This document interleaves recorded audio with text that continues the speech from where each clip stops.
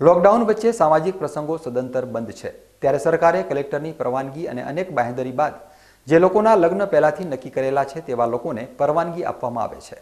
અંબાજીમાં ગઈકાલે આવા જ એક લગ્ન યોજાયા હતા.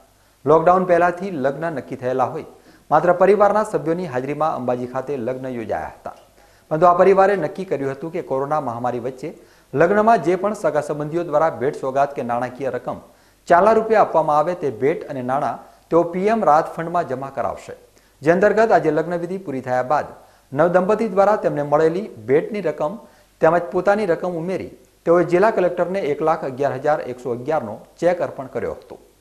લગ્ન મંડપમાંથી લગ્ન કરેલા નવદંપતીને કલેક્ટર ઓફિસમાં જોઈ કલેક્ટર ઓફિસના કર્મચારીઓ પણ મૂંઝવણમાં મુકાયા હતા. આજે અમે પીએમ બનાસકાંઠા કલેક્ટરને પીએમ ફંડમાં એક લાખ અગિયાર હજાર એકસો અગિયાર રૂપિયા આપવા અહીં આવેલ છે. અને આજે અમારા લગ્ન થયા છે, તેથી આ અમારું પહેલું ધર્મ તરફ કાર્ય છે, યોગદાન છે. અને ભારતને આ મહાબી, બીમારીમાં લડવા માટે લડવા માટે આ યોગદાન આપ્યું છે. અમે અંબાજીના રહેવાસી છીએ અને આજરોજ અમારા લગ્ન થયા છે. અને અમને લગ્ન નિમિત્તે જે બી નાણાકીય મૂલ્ય મળ્યું છે એ અમે આજે પીએમ કેર્સ ફંડમાં દાન કરીએ છીએ. કે જેથી કોરોના વાયરસની મહામારી આગળ સરકાર વધારે સરળતાથી એનો મુકાબલો કરી શકે. જિલ્લાકીય જિલ્લા કલેક્ટર. બનાસકાંઠા.